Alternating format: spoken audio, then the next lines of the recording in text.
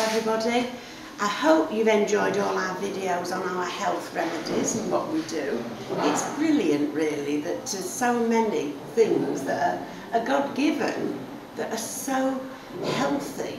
The kids are brilliant, they're bouncing with health. They've got good appetites, they've got lovely skin and eyes. And that's because we're using all the natural products. So our next little series of videos that are going to follow on now are about the activities that we do during the school holidays because we do have the iPads here at home and we've got study groups going on and the kids help in the kitchens and everywhere. So enjoy the next series of all the kids where they're busy but you'll see how happy and healthy they are. So thank you for everything, thank you for all your donations and contributions. They're much needed and greatly appreciated. But I can assure you we put everything to the best use possible for the children.